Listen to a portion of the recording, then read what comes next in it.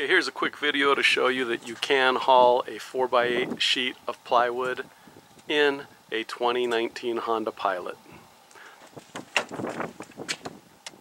What you have to do, put the headrests all the way up and then you're going to rest the plywood on top of the headrests and you'll have just enough room for your head. You might have to scrunch your neck just a little bit, but it'll get you home. I'll show you the back.